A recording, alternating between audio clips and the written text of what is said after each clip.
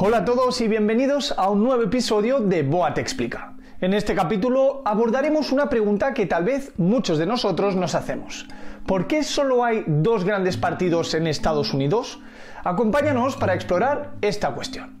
Por favor, no olvides darle al botón de me gusta y suscribirte a nuestras redes sociales en arroba voz de América para más contenido interesante. Empecemos. Para comprender esto debemos viajar atrás en el tiempo. En los primeros días de la República surgieron diferentes ideologías políticas, pero en 1796 se establecieron las bases para el sistema de dos partidos con la primera elección presidencial verdaderamente disputada entre dos facciones, los federalistas y los demócratas republicanos.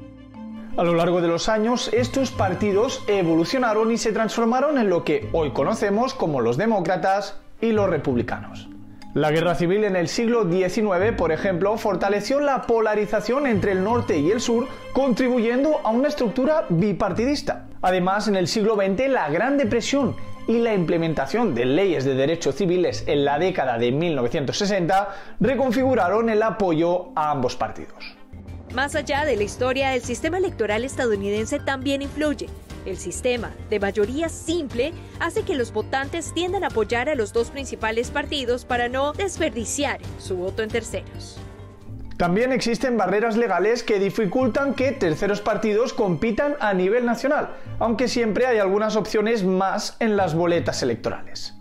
Así, la predominancia de dos grandes partidos en Estados Unidos se debe a una combinación de factores históricos como la guerra civil y la Gran Depresión, así como a factores estructurales como el sistema electoral. Si te ha gustado el vídeo, dale al botón de me gusta, compártelo con tus amigos y suscríbete para más contenido sobre las elecciones.